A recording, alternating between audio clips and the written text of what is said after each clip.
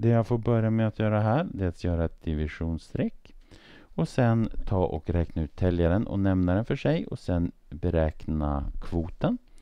Minus minus, det blir plus, så jag har här 18 adderat med 6.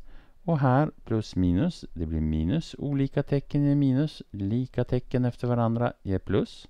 Så det blir 10 minus 2 här. 18 adderat med 6, det är 24. Så jag får 24 dividerat med 10 minus 2 som är 8. 24 delat med 8, det är 3.